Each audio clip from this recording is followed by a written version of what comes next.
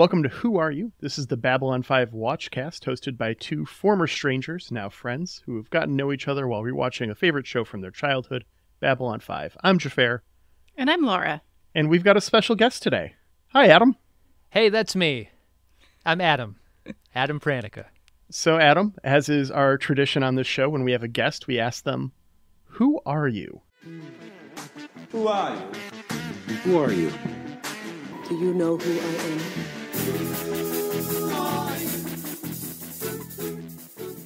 Who am I in terms of uh, how people know me? People know me from my two popular Star Trek podcasts, The Greatest Generation and Greatest Trek. Mm-hmm. And they've probably gotten to know me a little better at Star Trek Las Vegas Mm-hmm. at this moment in time. Uh, yeah, I've I've been around. I've been podcasting a long time. How long have you been podcasting? We've been doing this together for year and a half. We've more than that. We've got Yeah. 80 something, maybe maybe 90 episodes out for this one. Hey, that's Yeah. great. So it's sticking. Yeah. I think Yeah. once you make it past 50 episodes, I think you're here to stay. Yeah. I've heard that it takes 100 episodes to get good. So we're closing in. Getting I there. think we have close to a thousand episodes, and I'm still waiting for that moment. You've been there.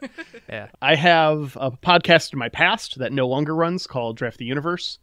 And then I have another podcast beside this, which is a little baby podcast. It only has 10 episodes called Last Time On, which is a review podcast where my podcasting partner, Ben, and I watch a show that neither of us have ever seen before, watch an episode, roll some dice, skip that many episodes, and then try to figure out what the hell happened in between those two. Oh, how about that? You- You're uh, gamifying the show. Yes, That sounds like fun. it's a good time. it's it's a fun podcast. I'm enjoying it. So that's all exciting. The Fugitive is what we're watching today. Yeah, why did you choose The Fugitive? So we do mid-season breaks with movies with that Uh-huh. have actors from the show Babylon 5 in them. And in this case, Sykes is played by Andreas Katsulas, who is G'Kar in Babylon 5, which is one of the main ambassadors. And he's also Tomalak in Star Trek, He So sure that's is. fun. Yeah. Yeah, What a great face he's got. right? indeed. One of the great faces in Hollywood. For sure. Now on Babylon 5, did they cover him with a bunch of loaf, or is he Oh, for you sure. letting that thing dangle? No, they sure cover it. Why would they do that? It's such a great instrument.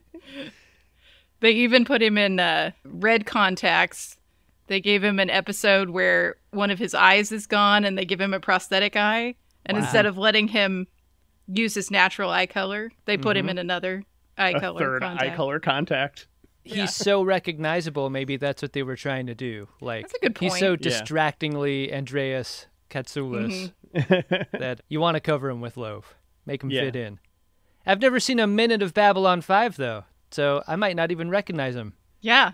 I'm, And I'm look at so me on a. Babylon Five podcast. I know. We're so proud. Would you have actually watched an episode of Babylon 5? No, no, Yeah, I didn't think so. no, you, you guys did right. I wanted to see The Fugitive again. It's it was my first time watching it for many many years, so it was Okay. a great reason to to reacquaint myself. Yeah, this was actually my first time watching it ever. Same. Ever. Yeah. Ever. Yeah, same. I just never managed to uh to sit down with it before. Can I ask you how old you both are?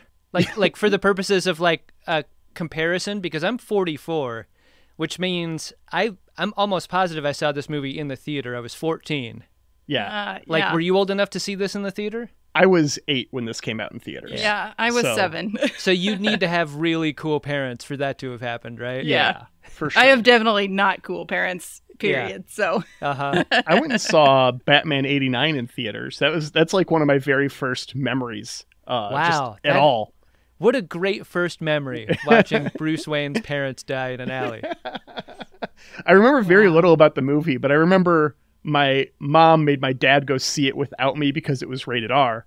But I Yeah. really was really into Batman, and uh, I remember him coming home and saying that it was okay, and that is Yeah. like the fundamental moment of happiness of my youth. Like I it is wonder- the bar. I bet McDonald's had a lot to do with that. Do you remember how pervasive the marketing was, especially in fast food for movies like that? And I feel like Batman specifically was like way into McDonald's, and if you were a little kid, that was the only place you ever wanted to eat, and you mm-hmm. were collecting those those plastic Batman cups. At least I was. Yeah. Like, how could you not get your parents to take you to that? Exactly. No, that's for sure a thing. That was, I mean, fast food. I had the Disney cups from Burger King as a kid. Mm-hmm. I had some Star Trek ones from, I I, remember those. God, I think it was Search for Spock. I don't even think I was born when that movie came out, Yeah. but I remember the cups. Yeah, who can forget? Uh, ben and I, my co-host on Greatest Trek and Greatest Gen, we try to go and get those cups, those fast food cups, and take them on tour with us. Because when we do our live shows, we're we're doing movies, and we tried to bring along the cups that were in fast food franchises when those movies were in theaters, and we've done a pretty good Yeah. job so far in being able to source those. Nice. You got them for uh, Final Frontier yet? Yeah, yeah, Fantastic. Because you're got them ready to go. Yep, getting ready to go on tour here soon. That's right. Uh, what's that website? For our listeners? GreatestGenTour.com is where you can see all the tour dates and get tickets. Fantastic. And then you've also got a, a merch store for your podcast as well. If you want to go ahead and throw a, a plug in That's for right. that. Podshop.biz was not taken when we needed a merch store. Go figure. so we scooped it up and now it's ours. And now it's where we sell weird joke shirts and logo apparel and glasses and headbands and all the rest. It's it's amazing. I'm glad we finally have a cool store. It is cool. yeah, if you need a niche joke shirt, Yeah. that's the place to be. a William Carlos Williams pair of swim trunks. Right. That's the source. So this movie starts off with some real dramatic titles for these actors' names. I don't remember Indeed. another movie doing something like this. Two cards for each lead actor yeah. with the full on. It's just so dramatic. Before this movie even begins, they're laying it on thick. I mean, that's that's one of the great things about The Fugitive, right? Is like the pace of it is pretty breakneck for like the first 90 minutes. And then I would argue like by the time we get there, it really runs out of steam about 90 minutes in. Yeah, yeah. I I did uh, some cursory research. We don't do a lot of research on our show either. Uh-huh. Uh, but I did a little cursory research and found out that this was originally a TV show. And I was like, okay, I see that because there's so much happening and you're, you're not clear on like what day it is in this movie. right. Yeah. It makes a lot of sense. In a TV show, this would be a lot longer, like lead up. Place is far more important than time in this movie for sure. Mhm. Yeah. Yeah. They do a really good job of establishing that constantly too. Whenever they're at a place, Tommy Lee's barking out the perimeter, how many miles, the distance traveled, and stuff. hmm The the movie does a really good job of keeping that and then being consistent with it too. Right. Do you think we're supposed to like the Tommy Lee Jones character as much as the Harrison Ford character? I think like in because I, '93, I really got heat vibes from this movie, right? Like the De Niro versus Pacino ification of the two leads. hmm Yeah, it's uh I think that Tommy Lee's character not caring about justice and just caring about being a cop plays a lot better in 1993 than it does in 2023. Yeah, Yeah, for sure. For sure. he's kind of terrifying in some scenes. For Yeah. sure. Did uh was anybody else surprised that Tommy Lee Jones is younger than Harrison Ford? What? That is that's hard Harris- to believe. Harrison Ford is 80 years old Uh huh. and Tommy Lee Jones is 76. Yeah. They're close. I mean, I would imagine they would have gone to the same high school or whatever. So yeah. My husband was like, "How is he not 90?" yeah, he's got some real city miles on him for sure. It's not the years. It's the mileage. He has he has a face. yeah. Um I kind of liked Tommy Lee Jones though. I know that they're trying to play him as uh the the foil, right? But hmm his folksy demeanor really made me laugh. I enjoyed it a lot. Yeah, I liked him too. I didn't like how he treated his coworkers though. He kinda Well, seemed no. like a dick manager. He is bad boss vibes, 100%. So when we actually start getting into the story of this movie, it starts with a news reporter giving us the backstory as Harrison Ford gets taken to a car. Uh, we get a name, Dr. Richard Kimball. We learn he's a surgeon. We, his wife was murdered, and they spent the evening at a fundraiser for the Nondescript Children's Research Fund. And then we get a literal flashback to earlier in the evening. This was such a good shot. The the camera flash whiting out the screen to the flashback was so slick. I really liked it. Yeah. Yeah, and it's flashback is the only place that Sela Ward appears in this movie. Like she's never alive for real in the movie's timeline. Mm-hmm. Thought that was Yeah. interesting. She's Sela already Ward's gone. great in this movie. She doesn't get a whole lot to do, but like lest we forget, she was a big star back in the early 90s. This children's fundraiser is of course complete with a jungle print swimsuit fashion show. Yeah. What the actual hell is going on here? this was so bizarre. It's your classic swimwear fashion show fundraiser. Everybody does those. You've never been, Xhafer? No. For kids. Mm-hmm. Harrison Ford gets a call to go to the hospital to help with surgery on his literal car phone, which just remembering those existed aged me significantly. Yeah, I do remember the bag phone. Are you allowed to do surgery after you've been partying? Because he doesn't disclose that on the phone. Because they're like, "Hey, doctor, like we need we need you to help on one." And I think maybe that's the reason why they don't care. Is like he was just there to assist, right? He's not there to like be the main surgeon. Was he drinking at all? I don't even remember. I should have I paid mean, attention. it's to a that. Wouldn't you drink if you were going to a children's hospital fundraiser featuring like animal print runway walks? it's the only way I'm getting through that. Fair Look, one thing I got out of this movie was that in the 90s, you could get away with a lot more. Yeah. There's a lot that would not happen today. I know we're all used to seeing Harrison Ford look a certain way, and I think that certain way is without a beard. So, Yeah. like, when they introduce him mm-hmm. As bearded Harrison Ford, I think it really, like, Star Trek does this a lot, right? Like, we're introduced to an alien of the week that's, like, been through a horrible accident and they're disfigured.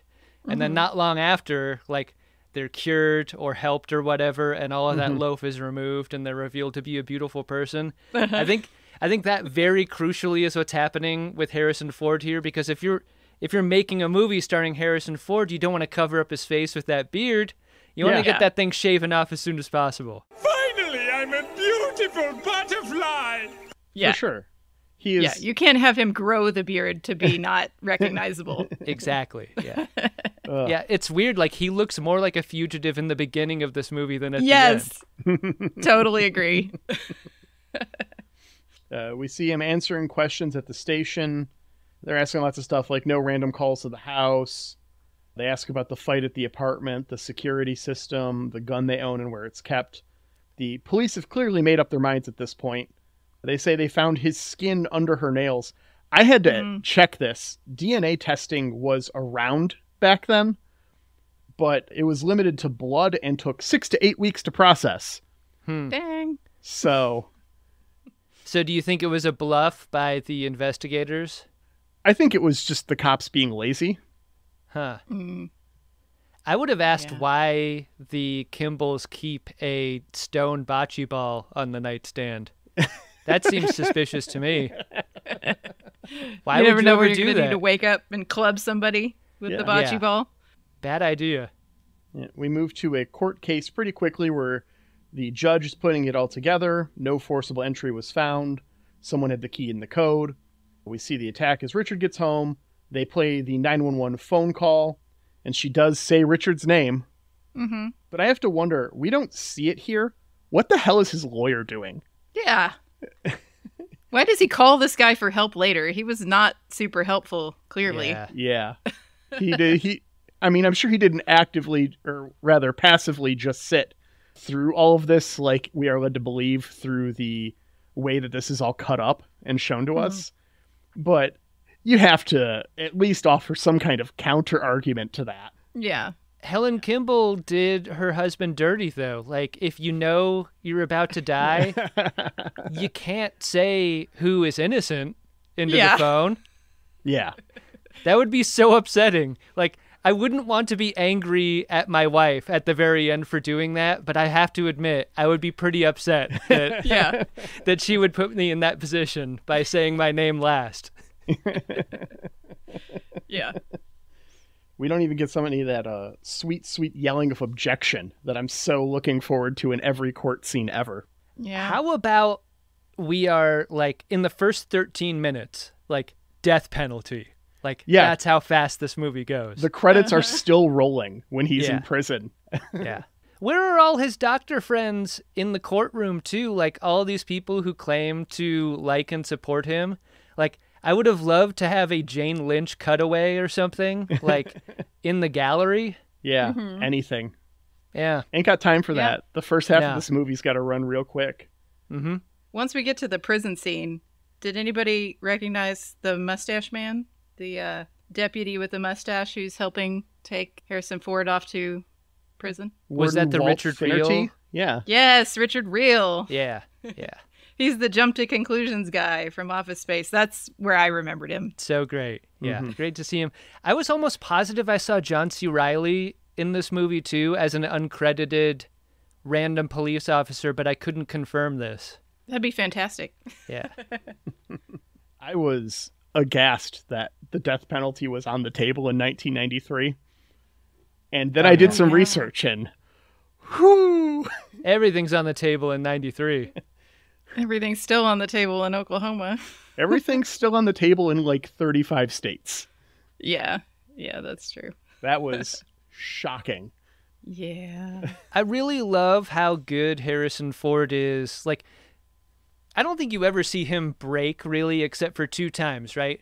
Once is like when he thinks that the police have finally caught him when he's living in the basement of that Russian lady's house, Yes, and then yes. instead they're mm-hmm. Mm-hmm. catching his kid, and you see him like exhale and like almost break there.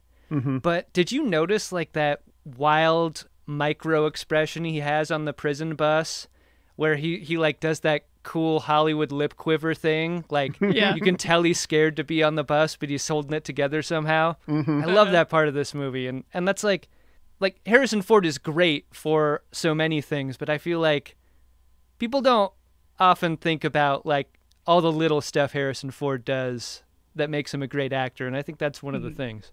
For sure. Yeah, he's fantastic. Speaking of the bus, do we think that Richard Kimball knew they were going to pull this? Do we think that he was in on the whole thing? because he's looking around at the other inmates and they're looking mm-hmm. around at each other like it kind of seems like maybe he's caught in the middle of a situation where everyone else knows what's going on and he's just trying to act as if he's not Yeah. going to blow it for them right Right. Here I was just paying attention to their color coded prison outfits, wondering what gangs they belonged in or if they're crime coded or what. Yeah. But yeah, so the, on the field trip here to Menard Prison, they trick the guard, accidentally kill the driver, and this bus just turns into a gag from Hot Rod.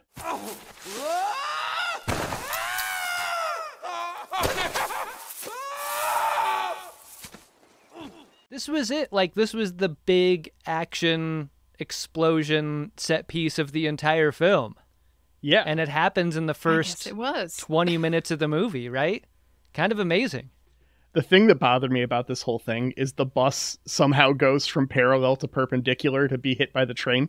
Oh, And I know it's like the stupidest detail, and they do a really good job of all of the details in this movie. Like when we see the overhead of the ditch and the highway and everything, it all kind of comes together, except that the train is, well, the bus is facing the wrong way to be hit by the train somehow.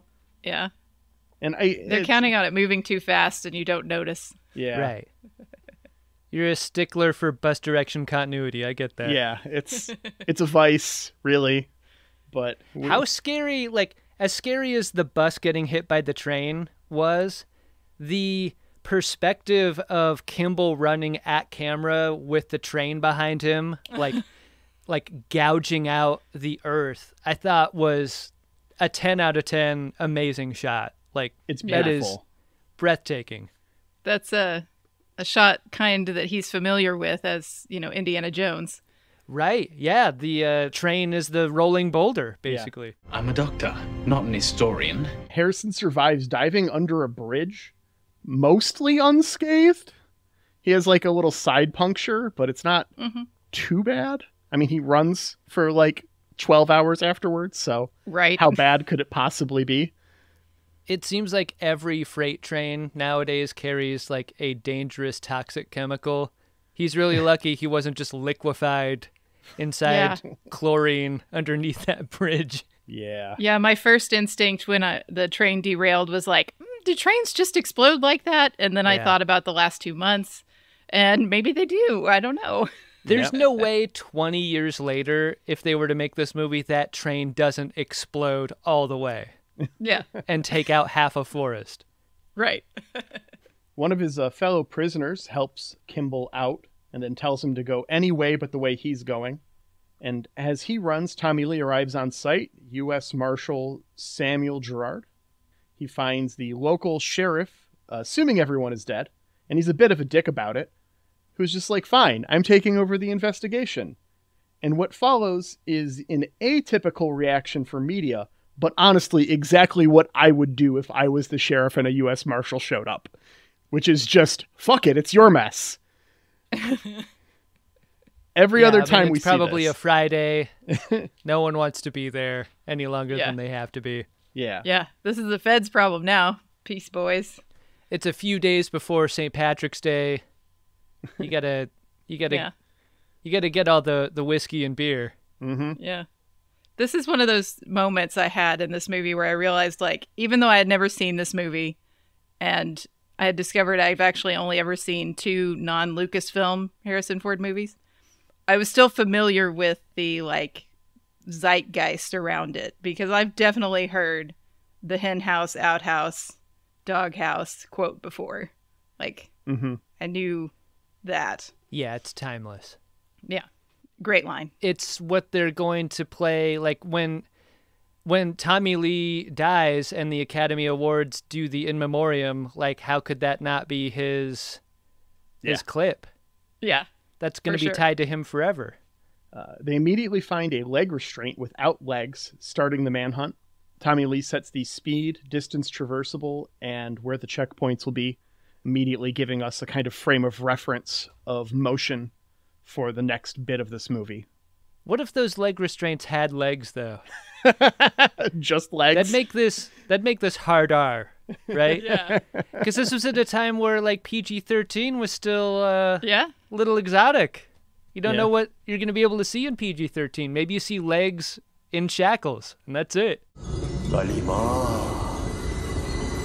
Galima. Yeah. I was like, could I watch this movie with my son? I don't know. It says PG 13, but I'm going to go with no. Yeah. Safe bet. Kimball runs until the next morning, where he finds a medical facility where he treats himself.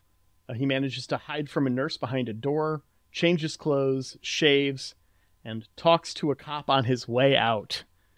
Oh, the slick move here.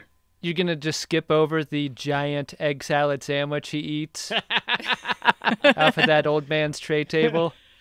I was wondering how this old man was supposed to eat in that neck brace. Like, by I love- himself. I love that this movie did that because so often movies play the fantasy of how many bullets were in that clip or like when does he have time to sleep or eat or whatever. Like actually giving us an eating scene, I thought was great at this Yeah. moment. Yeah. Yeah, he needs those calories. That old man dies of malnutrition though. Like that's Yeah. that's the sad part. She did say he needed to eat for his strength. Yeah. See, Uh, that's rough. it's too bad. Yeah, I mean Dr. Kimball saves so many, but he did he did murder that guy through malnutrition. He manages a body count of one. Yeah. that Whole guy. movie. Uh-huh. he talks to a cop on his way out where he's all like he did he asks for the description the cop describes the dude he's looking at he's all like oh look in a mirror just walks away Yeah, because he's too busy looking at Harrison Ford's crank sticking out of his zipper, right? That's true. That's true. he He helps the guard he saved out of an ambulance before he lifts the ambulance. And then we cut over to Tommy Lee's camp. Oh, I was just gonna say, I wish we saw more of this this uh, guard. Right? Like, where's the bedside interview with him? Like, where's the follow up with him? I kind of wanted to live with that character a bit more. There is a little Yeah. bit of that from a lot of characters in this movie, especially this first half where it's just moving so quick. Mm-hmm. After we cut over to Tommy Lee's camp, hey, I know this guy. And hey, look, it's Joe Pantoliano. Getting some screen time. Uh, to borrow your parlance, he's a real that guy. He is. I, everyone has gone through a costume change here in camp. Everyone's getting a little comfortable Mm-hmm. at base Yeah. camp. We like to see that. Yeah. Yeah. U.S. Marshals really dress up most of the time. That's what I gathered from this movie. Shirts and ties. Yeah. Yeah. Is there some pressure as being feds that you gotta like look? Yeah, like you want to better. distinguish yourself from the local police or whatever, and, tha- and Yeah. for that you go to LL Bean. Yeah, for sure. We cut over to Harrison Ford driving his real notable escape car, the ambulance. hmm Uh, they have a sighting, and everyone loads into the helicopter to give chase. They find him. He dodges cop cars. He gets into a tunnel as the helicopter lays down at one end to close it off. He runs out of the ambulance as they approach, makes it to a sewer drain. So everyone's just this this moves, movie's so quick. Mhm. You know, so they're following. They're like 20 feet behind him at all points, and we're cutting back and forth. And we see them follow him down the sewer drain. He tosses his coat down one end of a Y to try and get them to follow, but the marshals just Scooby Doo it and split up anyways. Is wearing a thick cable knit sweater the very worst thing you could be wearing in a sewer? Yeah, Has to be, So right? heavy. Yeah. Ugh. You know that that's thing's never getting absorbent. clean. Yeah. I think at one point he falls in the water, and at the next scene, I'm like, "Mm, that thing shouldn't be that dry. Yeah. shouldn't be that dry. Tommy Lee is hot on his trail. Uh, he slips. Harrison gets his gun. Harrison Ford says that he didn't kill his wife, and Tommy Lee's famous response, I don't care. What an asshole. But it's also the perfect description for his entire professional mission. For like sure. it's not his job to Right. adjudicate, it's his job to arrest yeah, and apprehend. definitely. Like he's definitely doing his job, and and his actions are not outside the bounds of that. How many guns do you think he has on his body though? Three. He has that Three secret gun four. under the Velcro. I thought that was a hot move. you got to have one down at the foot, right? Oh, down in for the sure. leg. Yeah, Yeah. Yeah. yeah. He's at least got three on him. I think Dr. Kimball's cable knit sweater is so covered in sewage that jumping off of the dam into the clean water below has got to be like attractive, right? It's not just fleeing Tommy Lee Jones's character. It's like the only way to get clean is to die or to jump into the water below. Yeah. yeah. That thing's got to be really heavy, though. It's amazing he doesn't drown. Yeah. Yeah. I mean, that's like the science experiment, right? Like the the rate of falling of like a bowling ball or a feather is supposed to be the same, but uh-huh. like a mm-hmm. bowling ball, a feather, and a cable knit sweater waterlogged with sewage, like, Yeah. that falls the same also. Yeah. right. This has got to be what you think? Is it the most famous scene of a movie from the '90s? I mean, Jurassic Park being this Yeah. very same year. Like, Okay. I looked up That's a good call. all the great movies from '93. '93 was a. Can I curse on this show? oh fuck yeah! Yes, absolutely. 93 was a fucking killer year for movies. like there were so many good movies in 93. I think I think it's kind of unfortunate that The Fugitive is as good as it is and I don't think it will be remembered as maybe even the top 3 best movie of this year. Like there's a lot of good ones in it. What were some of those others besides Jurassic Park? Tombstone was one of them. Oh, was Tombstone Uh, '93? Menace to Society. Now I'm now I'm going to have to look them up. But uh like The Sandlot was 93. Mm-hmm. Oh, wow. like really memorable films. The Firm. Oh, You Oh, remember The yeah. Firm, right? And Pelican Brief. Mm-hmm. Man. Okay. Yeah. There you There's a go. lot going on in There's a selection. Uh, after this jump, most of the marshals assume that he's dead. And Tommy Lee's just, oh, well, that will make him easy to find. yeah. They're, the deputies are like, he was just covered in sewage. He probably wanted to kill himself. Yep. He's dead. Tommy Lee sets new parameters around the last known location. Kimball runs until he can't. And we get some flashbacks that start sexy before turning tragic. Yeah. Helen Kimball seems like a really cool wife, you know?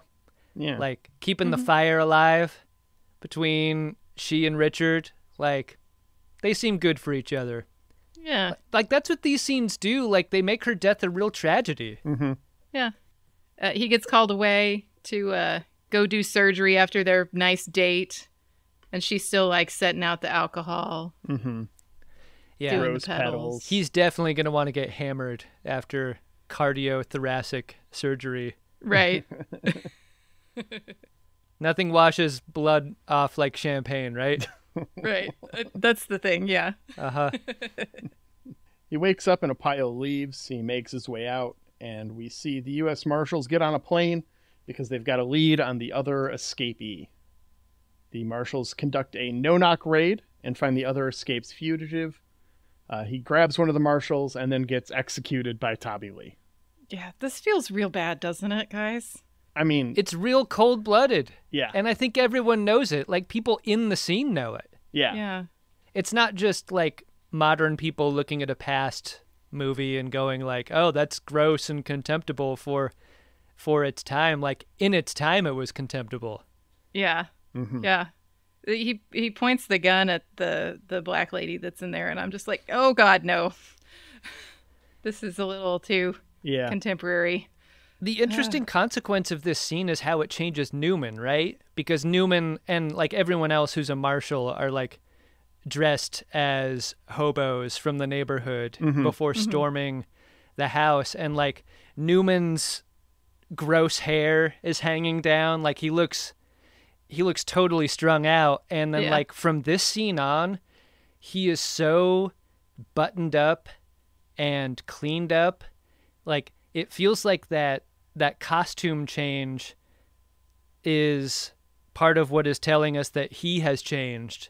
Like as a mm-hmm. personality like you'll notice he doesn't really do a bunch of joking around from this point forward either. Like it's mm-hmm. almost like he's tommy lee jones's like lieutenant like his main guy from here on out. Like Yeah. he really takes his job and his life seriously after this. Yeah. Mm-hmm. Tommy lee jones doesn't change from here though No, i don't think tommy lee jones changes at all in this movie he he definitively doesn't. Even at the end, Yeah. when there's a glimmer of him changing, he makes Yeah. Harrison Ford swear to secrecy that he won't tell anyone. yeah Yeah. He's like, "I am definitely not changing." Yeah. Sorry. Richard has made his way back to Chicago, where he calls his lawyer like a big idiot, Yeah. yeah you gotta call jane lynch right? call anyone but but the lawyer Yeah, he wasn't very helpful before. Why will he be helpful now? Mm-hmm.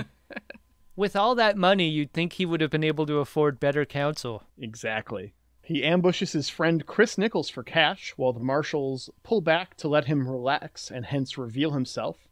They also start to dig into his wife's murder, assuming that that's the reason he came back to Chicago. nichols has got a great haircut right like the great early 90s haircut that mm-hmm. looks like it's plastic Yeah. just so much gel. It's just frozen in place.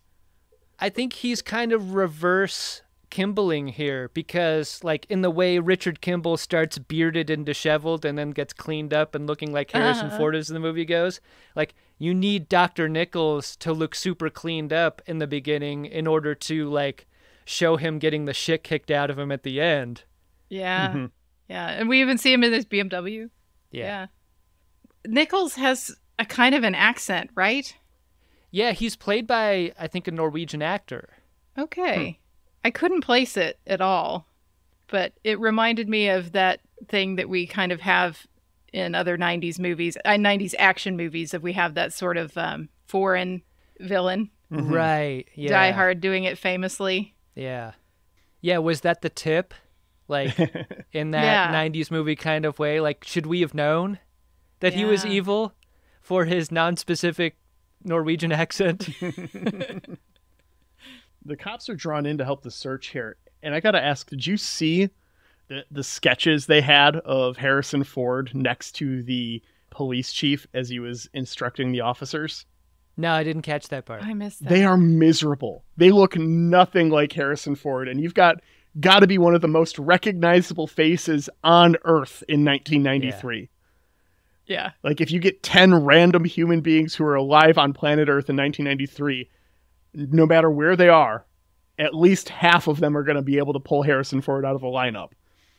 Is that a commentary on how useless police sketches are? Because I feel like there's been research on this that, like, trying to recreate somebody's face for a police sketch is not famously not accurate. They have photos. They have photos of Yeah. him the entire movie. Like when they get off the train, they've got when photos there's a of him. photo, there's no need for sketch. You're right. Yeah.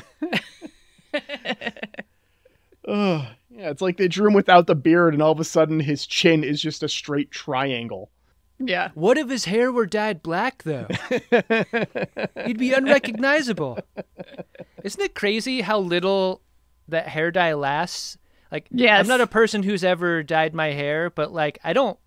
I think it's supposed to last longer than a day, right? Yeah. Because it's black on I mean, on day one, but then he's like back to Harrison Ford, light brown, the very next day. we do know, I mean, a year takes place over the course of this movie.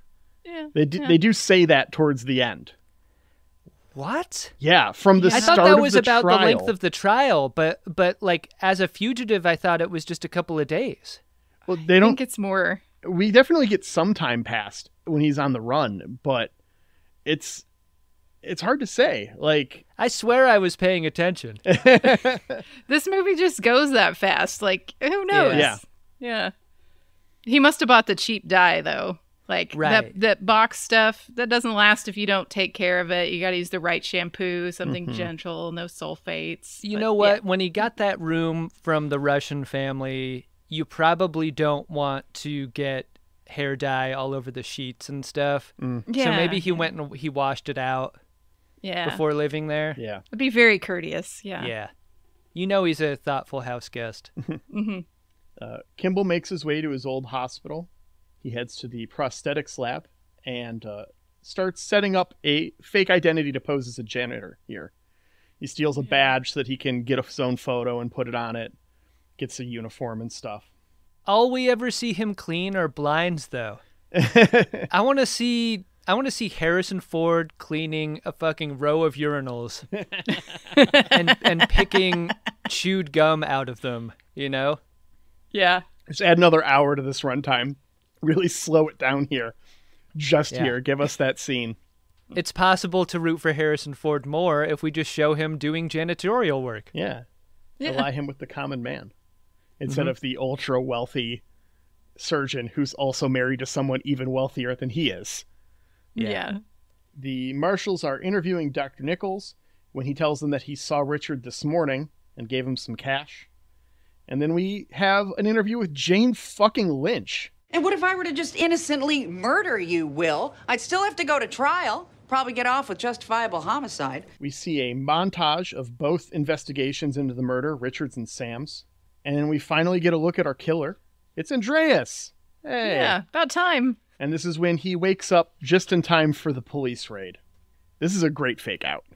I, I was completely just like, oh, he's screwed as all the cops are surrounding the place. And then there's find out we're just there for the landlord's son, who Good restraint by him, not busting out the door and, and trying to run for it. Mm-hmm. Yeah. I learned a lot about fleeing the police from this movie. I'm sure Yeah, that is right? actually useful information. Uh, Uh-huh. So, good luck. Kimball uses the computer in the prosthetics lab to narrow down his list to five people, uh, while the arrested son gives up Kimball's location. And then Tommy Lee starts to go through his clothes looking for clues. the hell is this? My dirty undies, dude. Laundry. The whites. It's kind of wild how Kimball is dressed appropriately for Midwest winter a lot of the time. Mm-hmm. And I think at this point, he stops being well dressed for winter and he's just like just wearing a tweed blazer with the neck mm-hmm. lifted up. Yeah. And it's like March in uh-huh. Chicago at night, and that's all he's wearing. to me, that's conspicuous. See, I only know weather from the south, so I'm like, that seems fine. Yeah, yeah, it just seems too cold for that blazer. Yeah, you're probably right. Might be. Dr. Julianne Moore gets Harrison to take a patient down to observation, and he adjusts a file as the kid's going down, saving his life. So heroic, it just costs him his cover as the marshals arrive. Yeah. It's a great scene that makes you love Kimball even more. But Yeah. like, how great is it seeing Julianne Moore? Right? In, uh-huh. I mean, it's not a cameo, but it's she's just great in everything. It's true. I thought when we had the scene that we were setting her up to be something. Yeah. Like she was going to come back in some sort of way or, or ally with Richard Kimball. And then I mean, Julianne. Moore was capital J, capital M, Julianne Moore in 1993. Like, it's not Uh-huh. like I think that was a good expectation to have. Yeah. Yeah. Yeah, she's in the lead credits. So, Oh. so it's yeah. not even like they considered it a bit part for the movie or anything. Yeah. Tommy Lee spends some time in the prosthetics ward, following up on what he thinks Harrison Ford is following up on. His list is 47 names, but he also has, you know, a whole bunch more people to look into stuff. Yeah. Uh, I love these computers that they're doing their search on. like, nice to know that they were that high powered back then. Good. Uh, has an information technology professional. I can promise you that that computer is still running in a hospital basement somewhere, Yeah. It's stable as hell. untouched by time. It's an Mhm. IBM AS400. Those things run for forever. Yeah. Don't make them like that anymore. Nope. After this, we see the Green River running in Chicago, which means it's St. Patrick's Day. hmm If you're unaware, this is a thing that does actually happen every year still. It is apparently not terrible for the river. They do it with oranges, and it costs about $2,000 to dye the river red. Green. Green. Fuck. Words.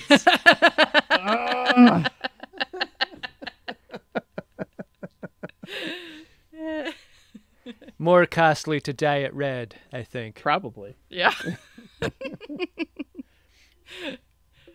An uncountable cost, even. Uh, Kimball continues narrowing down his list of five. Uh, he visits an inmate, takes him off the list as a guard IDs him. He starts to make his way down the stairs, but the federal marshals are already here. They just almost miss each other, and then Tommy Lee realizes, turns Uh-huh. around, shouts his name down the stairs, and when he looks up, he knows he's been made. Yeah. What a boss move. Just yell the dude's name and wait for him to turn. Like this could have if it if just an ounce more restraint, he could have just kept going and ignored it. Been fine. Tommy Lee Jones feels so bad about losing his guy here that he just shoots and shoots and shoots in the lobby scene that follows. Into the bulletproof glass. Yeah. Not dangerous at all. Wow. What Hold a moment. I thought for sure that he'd shoot his foot. hmm If you look, I mean, the bullets were all very well aimed. Like the way the Mm-hmm. shots organized, we see the bullet impacts right where Harrison Ford's head is on the other side. He's just fine. And it's very jarring. And it takes a minute to even consider the foot as a target. Oh, so you think you think that if he wanted to shoot his foot, he would have, I and he chose not to? I think he thought he didn't realize the foot was an option. He was too focused on the head and chest. Like I know, God, what movie was that? I think that was like True Romance, where James Gandolfini gets the top of his foot stabbed with a knife. Like we've seen foot trauma in action films before, mm-hmm. but I don't know if I've ever seen like a foot held out with the heel, and to have that be shot. Yeah. That would have been an amazing. That would be more memorable than outhouse, hen house, chicken house. seeing seeing a gun shoot the heel of a foot. Yeah. That's a that's a smaller target though. Yeah. Like that's some trick shooting. Yeah, I mean, I think you, I think he regrets not shooting the foot because when he disappears in the parade, I mean, Yeah. how many times does Tommy Lee Jones lose Kimball in a crowd? All the Yeah. time. Yeah. Yeah. He's wily. We get a really embarrassing press conference Yes. after that. Yeah, why even have this press conference if you're Tommy Lee Jones, right? Right. You have a you have a choice, right? He's so sad in answering these questions if he answers them at all. Yeah. Uh-huh. It's uh it's tough. I mean, I imagine you have to just because there were live fire at the St. Patrick's Day parade. Yeah. Yeah. I think this is the Tommy Lee Jones you hope to get in if if you're casting No Country for Old Men, the really brief cards close to the vest Tommy Lee Jones in dialogue kind of version of him. Mm-hmm. Like Uh-huh. this seems like that character a little bit. yeah. Kimball starts to stake out in front of his next name on the list. He sees some police waiting outside too. He dodges them, but he does ID Andreas from the photos on the wall. He finds photos with one of the doctors and check stubs from a pharmaceutical company. He calls the marshals, letting them trace the call as he takes out evidence and just leaves stuff on the table for them to find and leaves the phone Yeah. off the hook for them to finish the trace while he starts to leave. Sykes comes home to a pile of police while Gerard questions Sykes, who was investigated for the murder a year ago and has 15 witnesses to his alibi.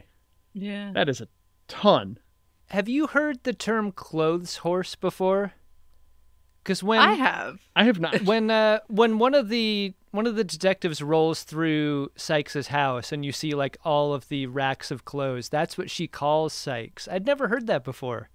Yeah.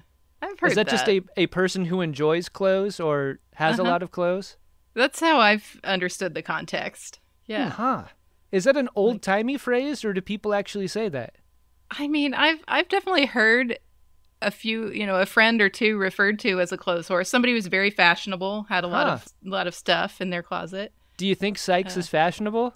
Well, okay, this is 1993, right? So Yeah. maybe question Yeah. mark. Don't Yeah. really remember that, but He does have a fancy trench coat toward the end. he does. The thing that got me about Sykes and Xhafer having seen Babylon 5, maybe Yeah. this was you too. Obviously, Adam, you don't have any context. None at all. But doesn't he sound so different, not affecting his voice and accent that he does for Babylon 5? For sure. Yeah. He sounds, well, human. Yeah. But yeah, it's just, it was completely, uh, well, completely alien to me to hear his voice like that. I know. I was like, I can't believe it. This is what he sounds like, I guess. Mm-hmm.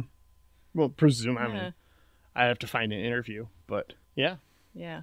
We find out he's security for the pharmaceutical company, right? Mhm.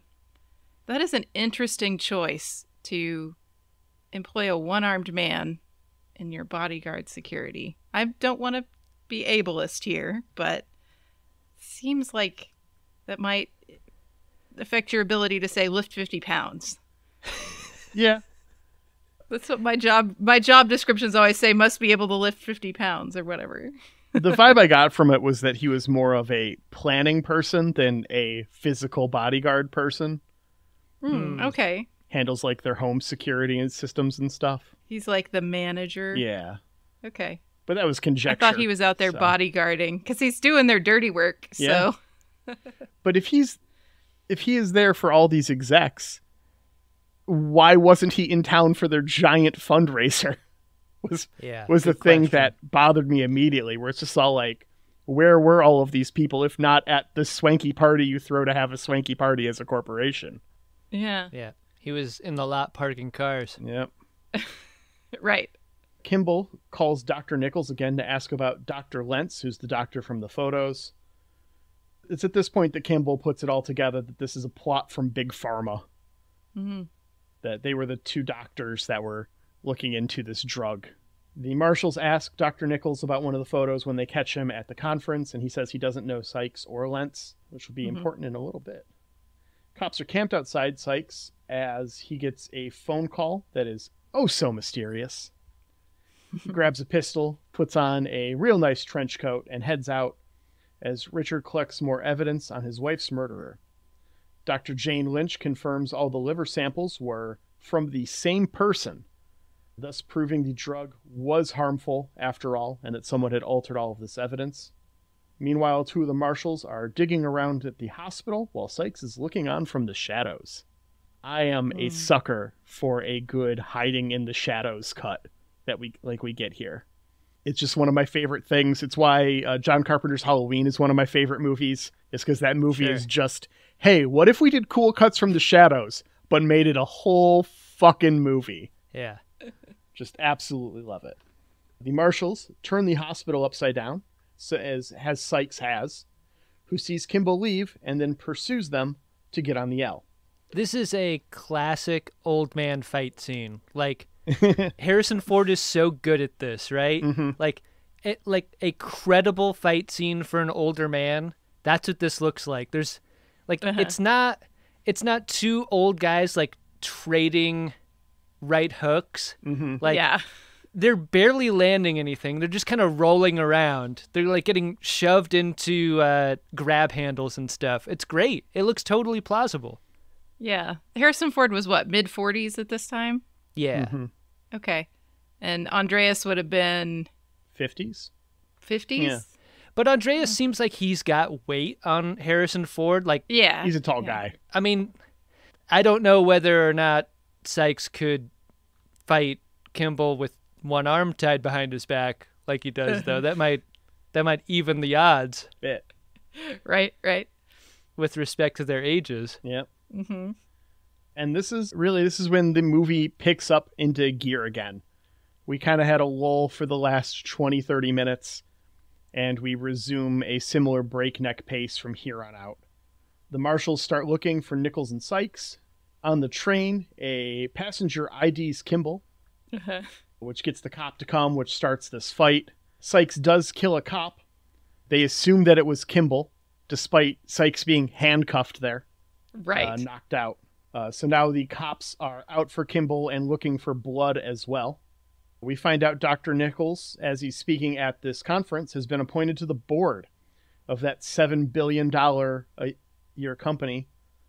Just because I can't do one of these movie episodes without our listeners expecting some math. That is $14.7 billion adjusted for inflation from 1993. Wow. Which still doesn't seem like that much these days. I don't know. We've what is the market capitalization of Apple is like a trillion dollars now or something? There's Like- a handful of very, very, very large companies that kind of act as outliers there. I mean, a $14 billion company is still probably within the Fortune top 100. Yeah. Okay. Anyways, Kimball crashes this convention and calls out Dr. Nichols in front of all of his colleagues. Is your favorite guy in the whole movie the spotlight guy during this scene? yeah. Because I love how Harrison Ford does the confrontation and like Dr. Nichols is like, "All right, fuck this. I'm getting off stage like mid speech." And he like goes off to the side to have a private conversation and the spotlight operator follows them all the way off stage. that guy's a total pro. Yeah. The real I hero. admire that. I really do. The enemy was capitalism all along, guys. that also really helps production because it because the light source never changes as even as the characters are moving through the Oh, okay. scene. Mm-hmm. Like that's really good from that perspective too. Yeah. Those are the kind of details that I couldn't pick up on, but seem very important. Uh, they manage to remove themselves from the large audience, and Nichols attacks Kimball. The marshals arrive as the fight moves to so the this roof. is two old man fights in one day. Oh, for, within a couple, within for Dr. Kimball. Yeah, This is real close. here. yeah. he's still definitely. sore from Sykes. He's got to be right. 100%. Right. And this fight, we're going to go all out. Like, if you have a bingo card of 90s action movie things, like, we've got the helicopter now. Mhm. Mhm. We're going to go through a skylight. Mm-hmm. Yeah, We're on a, like, a skyscraper building. Like, we, it's all got a here. sniper. Yeah. yeah. Yep. They go through that that glass window and land in an elevator shaft. Uh, with Nichols going through and landing in dirty laundry, and Kimball landing on top of the elevator. Yeah, he gets it way worse, doesn't he? Oh yeah. Yeah.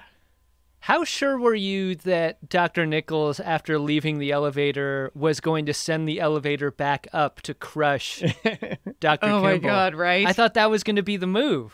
Yeah. I don't think I mean, that's, he know that's he's the up big there? brain. is is Kim. Yeah, I think Okay. so. Surely, right? Yeah. I mean, you were fallen. I don't know how much attention you were able to pay. But you know he's right behind you. Yeah. Yeah. and they make it down to the uh, fifth floor as the elevator goes down, which is the laundry floor. And dramatically we get all of the steam, the moving bags. What a great place to set a fight scene.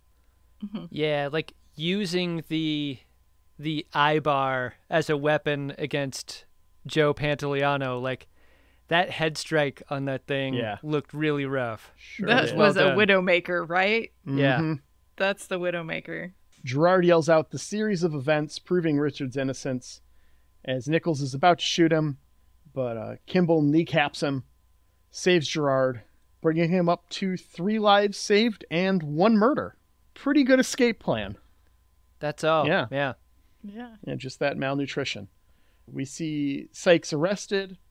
Gerard walks Kimball out in cuffs, but once they're in the car, he takes him off, hands him an ice pack as they drive off to credits. Into the sunset. What a movie. Do you think Dr. Kimball goes back to his old job and practices medicine after this? Because you got to believe he's like acquitted or whatever. Yeah. Like, he's, Right. he's going to be a free man. What happens to him? Does the board give him his license back? I assume they revoked his license when he got convicted of murder. I mean, more than yeah, I think that'll Yeah. happen.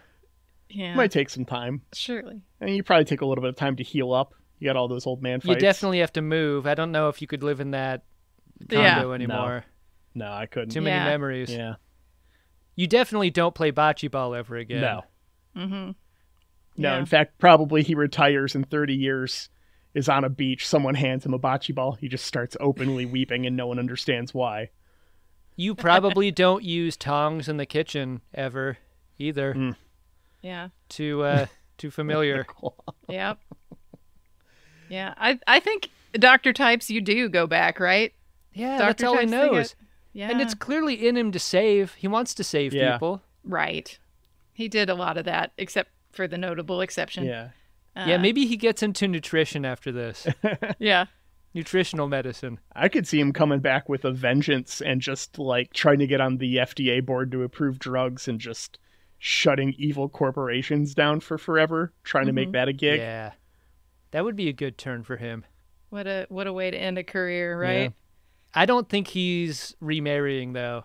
I think the death of Helen Kimball was a tragedy and she's not replaceable Yeah.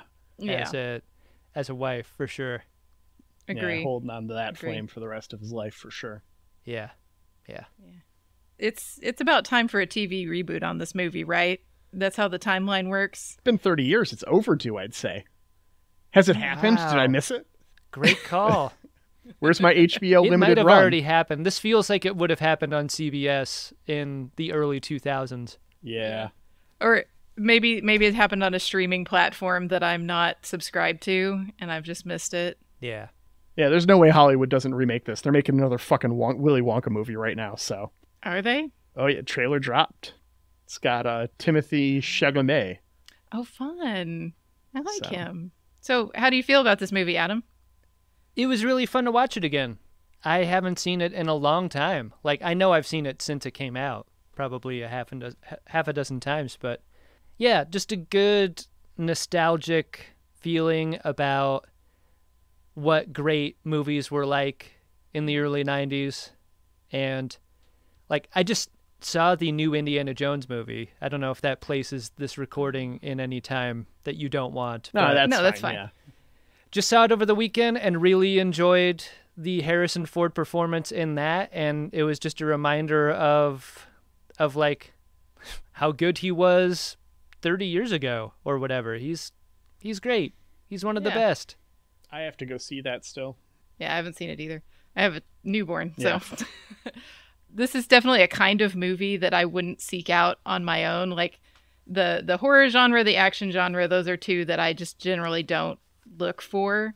But having watched it for this, I found it a, a really fun romp. You know, Yeah. nice little '90s romp. Yeah, no, it's a great movie. I will probably rewatch it in the next week or two without having to take notes and pause constantly. I'll probably enjoy it a lot more in that form, especially given its pace. It made it very mm-hmm. difficult just from a like Yes. podcasting perspective. It's like I got to talk about this. I got to have like 9 pages of notes in front of me. But Yeah. I think just sitting down and watching it to watch it, I think I'm really going to like it. Yeah, this feels like the perfect happens to be on cable TV type of movie in a hotel room or something that is Yeah. like weird to say like would be like a comfort watch, but like Uh-huh. I would absolutely watch this, you know, 30 minutes in and watch it to the end as I'm like brushing my teeth and ready to go to bed in some Yeah. strange city, you know? Yeah. Well, you'll have plenty of opportunity for that coming up with the tour. That's right. So, uh, you want to remind everyone where they can find you, Adam? Oh yeah, uh, you can listen to my shows, The Greatest Generation and Greatest Trek, both of which are on the Maximum Fun Network. Uh, they're both about Star Trek. Greatest Generation is about older Star Trek programming, and Greatest Trek is about all the new Star Trek that's coming out on the streaming services. And we're doing a live show tour at the end of August. I think it's like 16 dates, a bunch of different cities this time around. Our live shows are about Star Trek movies. And if I didn't mention it before, uh, they're comedy shows. So Yeah. if you like Star Trek, but you also like laughing about Star Trek, we're really that kind of show. So listen and subscribe and come and see us on the road.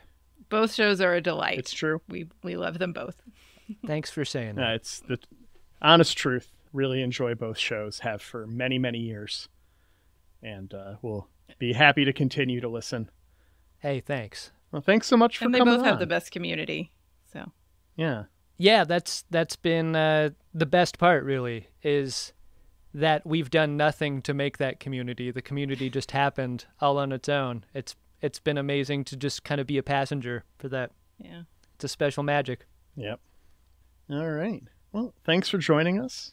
Thanks for having me, and thanks for being so patient. I know Laura and I talked about me being on the show last year at Star Trek Las Vegas, and I put you guys off for months and months and months, and I just couldn't face you again at this year's Star Trek Las Vegas if I hadn't been on the show. So I'm glad to have done this. I I no longer feel guilty, No. uh, and it was You're a fine. it was a hoot. I loved uh, talking about the fugitive with you. yeah. yeah.